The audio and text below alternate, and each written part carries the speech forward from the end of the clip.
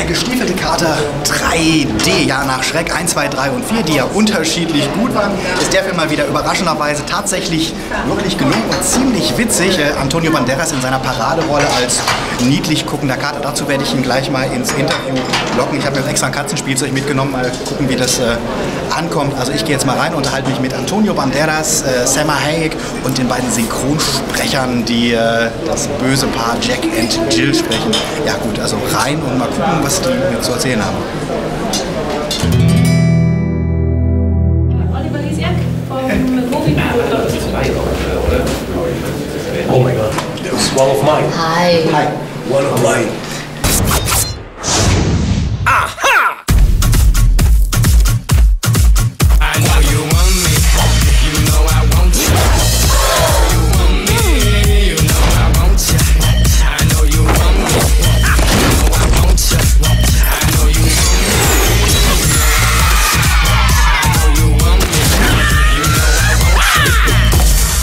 Alles, was ich brauche, sind meine Stiefel. Okay, so can you tell me about the movie like two excited 10-year-old kids would tell about the movie to their friends? This is the best movie I have ever seen. It's so cool. There's these two dudes. One's a cat, one's an egg. Und der Kater, der, der hat mal einen Freund gehabt und das war ein Ei. Und die wollten, die wollten eigentlich zusammen so magische Bohnen finden. Because these beans, they plant the beans, and this is, and this big plant goes all the way to the sky through the through the clouds, and they find these golden eggs, and then they get back to, to the land. But there is some kind. I mean, there, one of the friends is an egg.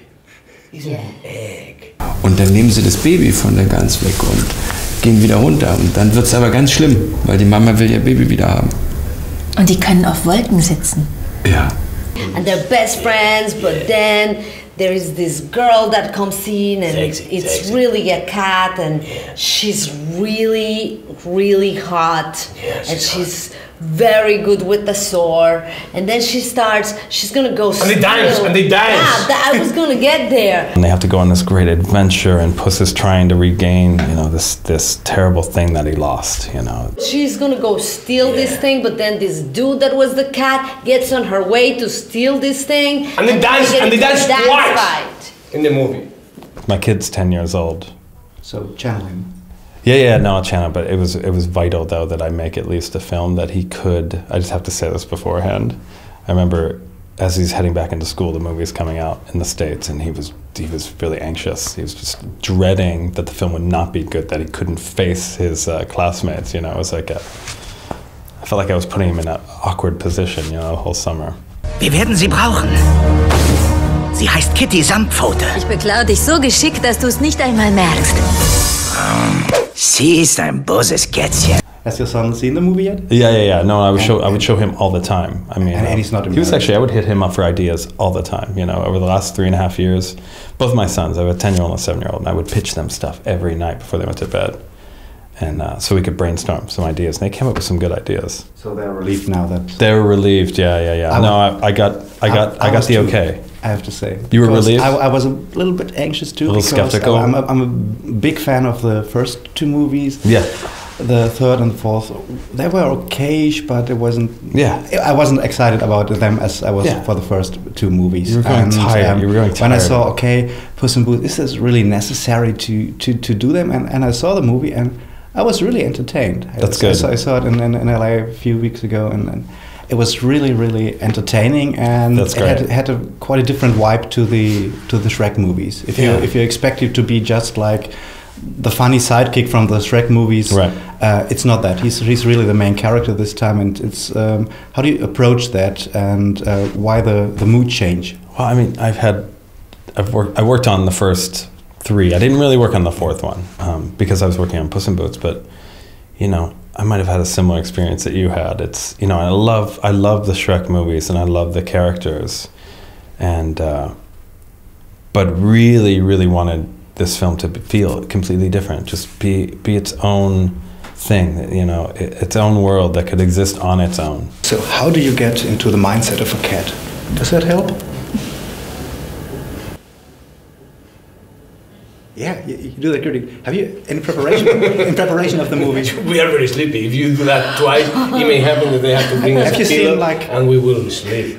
Have you seen like cat videos on YouTube? Like, how do you get in the No, mindset? we didn't. But the people actually that was creating the um, all the cartoons, they confessed to us That they that they download just everything. download every video of cats on the internet.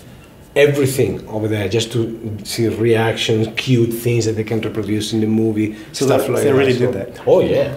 Me Oh, before do. before I used to go to my sessions instead of taking a shower, I would lick myself, and this is how I would get into the character. Your sessions, your sessions with your shrink. When I know the sessions will talk. Oh.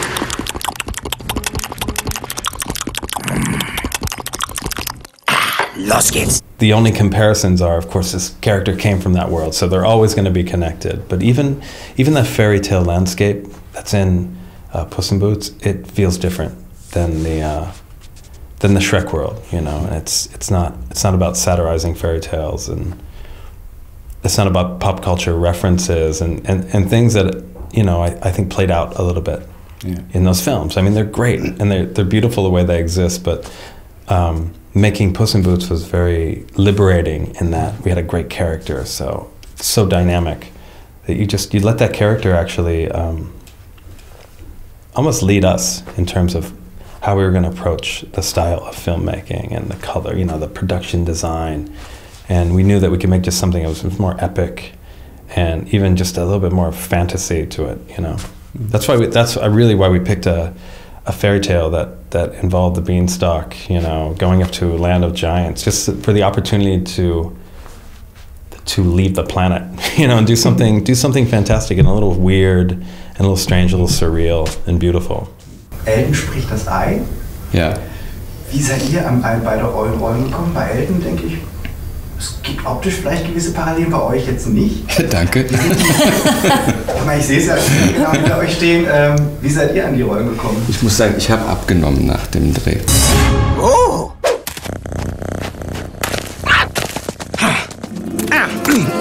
Wir haben uns sehr gefreut. Das war ja das ist einfach ein. Da kannten wir den Film noch gar nicht, kannten nur die Szenen, haben aber anhand der Szenen schon gesehen, dass das wirklich toll gemacht ist. Ja.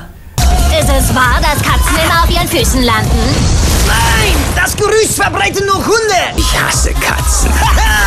Wenn ich das deiner Mama erzähle. Ich finde, das ist mehr, auch wenn es jetzt nicht genau dieses Mädchen, äh, Märchen vom gestiefelten Kater ist und es eine moderne äh, Version davon ist, finde ich, es ist äh, deutlich mehr Märchen als Shrek zum Beispiel. And, and the cute look, can you do the, the eye thing? No, I cannot. You cannot? No. So that, that that's that's not your acting, that's No, I really gotta the go power of animation. Can you can you do the I bet you can do the eye thing. Can you do the the eye thing? Can you do it? No, but I can do the girl version. Oh, look, that's pretty interesting. Maybe if we do a you know a live action movie about Puss in Boots. Maybe we can cast I'm. I'm more of a wombat guy. So Really? wombat, yeah. Okay. So, but I like cats, but I'm more of a wombat guy. So Die Welt ist in Gefahr und braucht einen Helden, Komm schon, Kater! der das Zeug dazu hat. Heilige Guacamole! sich diese Stiefel anzuziehen. Sind die Absätze für deine Kerl nicht ein bisschen hoch? Moviepilot, da geht es um Filmempfehlungen, deswegen interessieren uns immer auch Lieblingsfilme. Deswegen würde ich von euch noch ganz schnell zum Schluss gerne wissen, habt ihr absolute Lieblingsfilme, die ihr mit auf die einsame Insel nehmen würdet? Ja. Die man wieder gucken könnte und warum sind es auch Lieblingsfilme? Willst du anfangen? Ja, fang du mal an. Of all times, it doesn't have to be for I kids. gotta No, tell no, you, not for kids. you gotta see uh, the, sk- the skin I live in. I have. La piel que habito. I recommend that one. It's very, very interesting. It is a great movie. I'm gonna go for more classic and nothing that has to do with me or with her or with uh, anybody that I know. I love my favorite movies of all time is Eight and a Half. Eight and a half. Yes. That's a- that is a very good, good choice. My all-time favorite movie changes all the time, constantly. But lately, for some reason, it's I've been thinking a lot about um, uh, Monty Python and the Holy Grail a lot lately because I love Terry Gilliam's um, animation that was very inspiring growing up, and um, and I always remember watching that movie. I was way too young to be watching it. In fact, I should have been out in bed, but I just remember watching it, you know, kind of sitting on the staircase, like peering through the railings and watching it on TV. It was hysterical to me, and it was also f- forbidden, you know. So I think it made it special too. Um, yeah, Terry Gilliam was a huge influence uh, for for years, forever. I mean, up until now. Also Rio Bravo ist sicherlich einer davon. Taxi Driver ist einer davon. Ähm, Charlie Chaplin, äh, tja, äh, welchen nehme ich da? Eigentlich alle. Alle Chaplin-Filme. Das ist eine gute Kiste für die Ja. Und den Paten liebe ich noch. Ah ja, den, den Paten. Ja. And with Puss in Boots, um, there were a lot of influences, um, and we, we, we looked at it as uh, uh, as trying to create this legend behind this character. So we we looked to legendary cinematic figures more than anything else, you know. So I think if you look at Puss in Boots, you'll find like a little bit of Clint Eastwood, you know, in him, uh, a little bit of James Bond, uh, Errol Flynn, even Indiana Jones, you know, his sense of adventure and and uh, yeah, exactly, and Zorro, which and those you get for free because they come with the package with Antonio. So, but yeah, they're all they're all sort of in there and, and influencing, and it carries over. It's not just character; it just it influences just the way that movie looks and feels. So will we pu- see Puss in Boots again? I hope so. You know, we'll see. We'll see. Um, After that movie, I really hope so. Uh, me too. Me too. Because I, actually think you can get a little crazier with the character. You can get a little crazier with the situations as long as you can uh, just find a still like a really personal story to tell. You know, like break his heart in some way, give him something to to get back or regain or something emotional. That's what'll make the the hopefully the future films special. If there if there's an appetite, you know, if there's an audience for it. I hope so. Es waren mal in Amerika. Ähm, Shining. Ähm, überhaupt alle Filme mit Meryl Streep, Susan Sarandon. Ähm, hier, Old Man. Ach, Äh, pff, alle Filme von Old Man.